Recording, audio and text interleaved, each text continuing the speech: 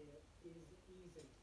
But for many COVID patients, surviving intensive care is just the start of a long journey of recovery. One, two, three.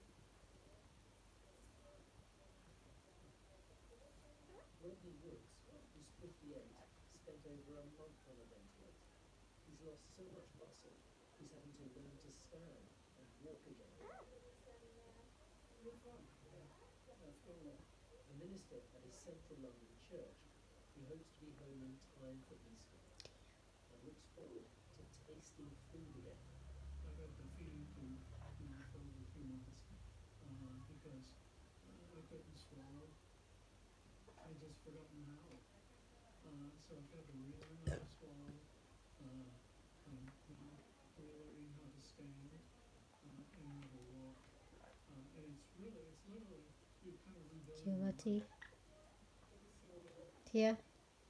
Miller, who's in his 40s, is another ICU survivor who's just starting to rebuild his life.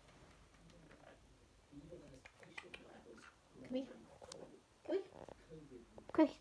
come Tia, come here. a long shadow. That's what's been seen. is walking out. Let's talk about that Warrington Government scientists and another surge maybe at the end of the summer and in the autumn. Despite the vaccination program, how worried should people be?